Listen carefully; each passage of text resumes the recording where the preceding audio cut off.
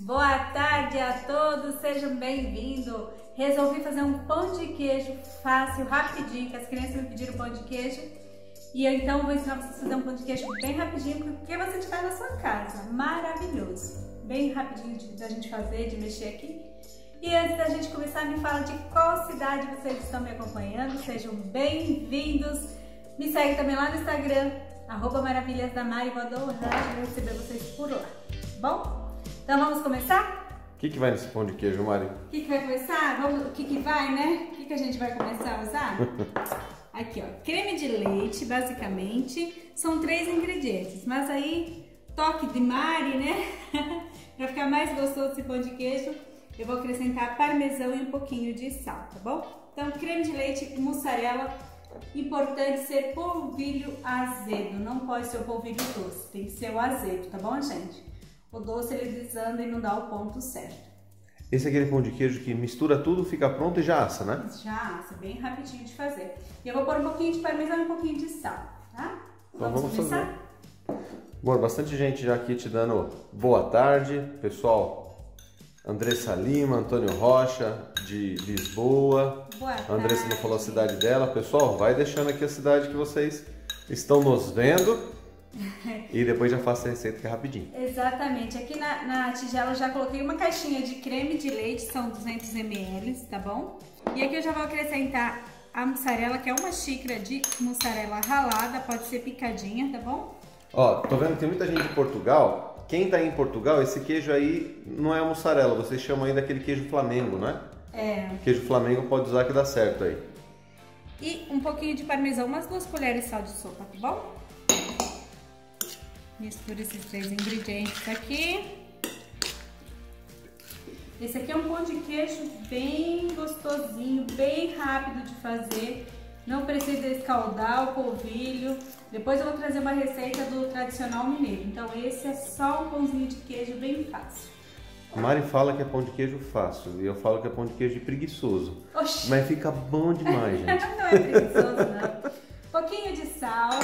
Já o queijo é salgado, então cuidado aqui na hora de pôr o sal, tá bom? E o polvilho é uma xícara bem cheia, às vezes a gente precisa de mais para dar o ponto. Vou mostrar para vocês aqui. Antes de você mostrar o ponto aí, amor, hum. dá, manda um beijo para Gislaine Group, que nos mandou 75 estrelas. Obrigada, Gislaine. Obrigada mesmo pelo carinho, pelo patrocínio. E a gente só misturar. Vamos pôr aos pouquinhos. Então depende se a sua mussarela for muito da qualidade da mussarela, né? Então, Sim. mas geralmente é uma xícara mesmo que vai, tá? Uma xícara de mussarela, uma xícara de polvilho azedo. Lembrando isso que é o polvilho azedo, não pode ser o doce, tá bom? Polvilho azedo, pessoal. Bem, no final da live vai ficar todos os ingredientes salvos aí para vocês. Mari, pessoal de Altamira, Pará, pessoal de Angola, pessoal de São José dos Campos, de Atibaia. Bem-vindo, gente.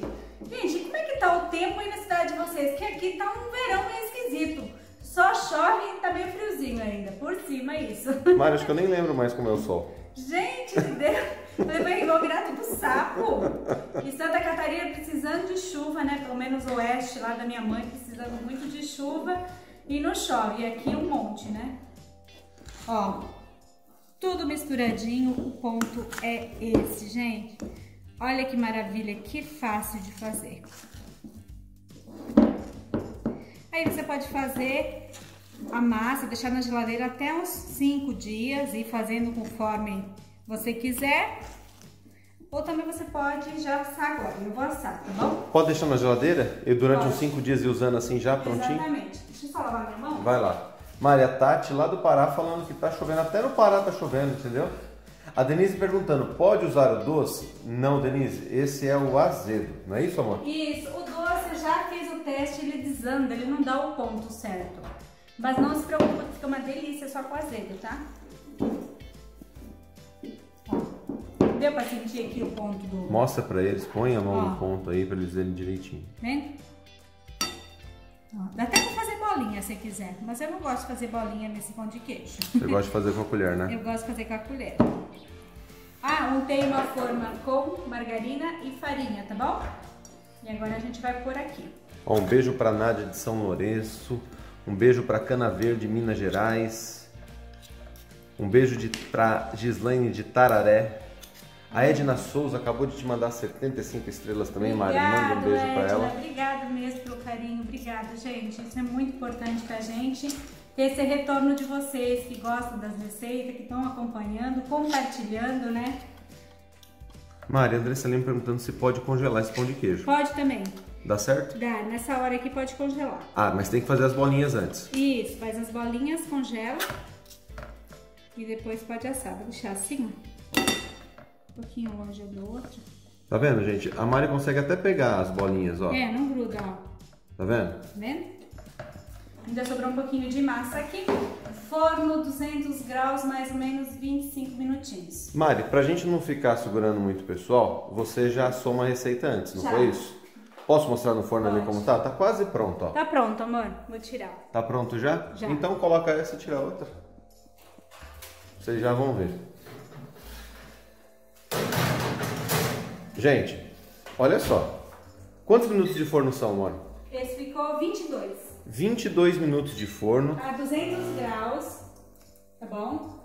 200 graus, 20 minutos, de 20 a 25, tá bom? Então foram 20 a 25 minutos a 200 graus de forno e você não demorou 5 minutos para fazer.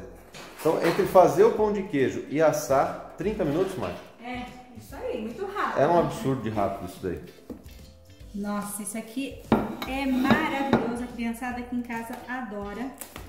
Além de ser um pão de queijo que você faz aí na sua casa. Não precisa, né? Não tem conservante, não tem nada. É um pãozinho de queijo bem simples, mas é uma delícia. Vamos ver como ficou dentro? Já dá para abrir, mano? Tá bem quente, mas ó, Olha Aqui, que ó. pão de queijo gostosinho, gente.